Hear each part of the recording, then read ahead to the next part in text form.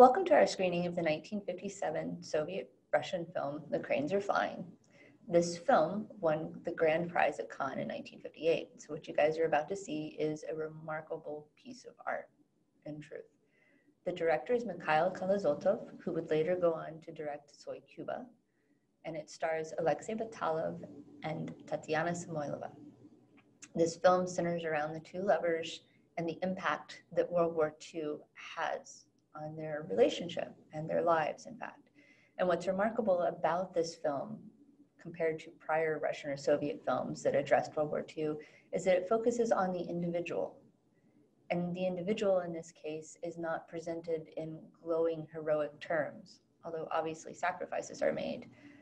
Prior to this, Russian films that dealt with World War II would have dealt with the subject in a grand, patriotic, romanticized fashion yes, there would be losses, but they would have been okay because those losses occurred in defense of the motherland.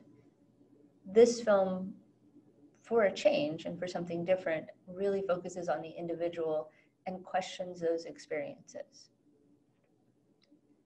There are a number of other remarkable things about this film, um, and I hope that you'll pay attention to certain scenes because these scenes would have never happened either. But since this is a film that was made in the thaw, and at this point in time in Soviet culture, there is a loosening of restrictions.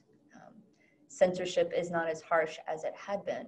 But as anyone knows who's ever lived in the winter um, or in a country where it snows greatly, when things thaw, you're not, it's messy. It's it's not pleasant and you don't quite know how you can get your footing and where it's safe to step.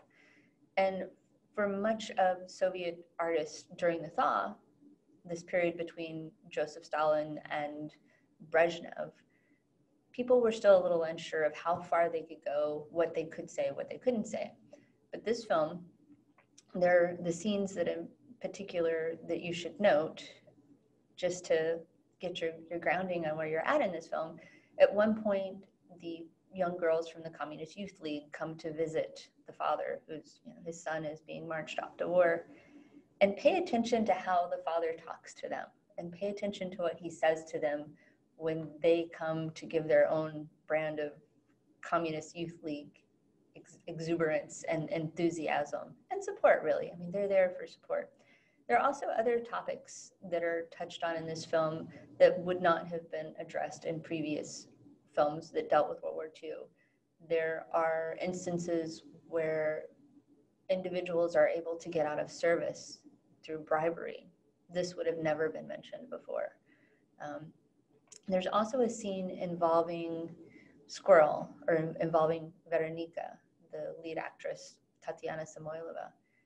And this scene in and of itself hints at sexual violence against a woman. And again, this is not something that would have happened before. It's not graphic, so please don't worry about that.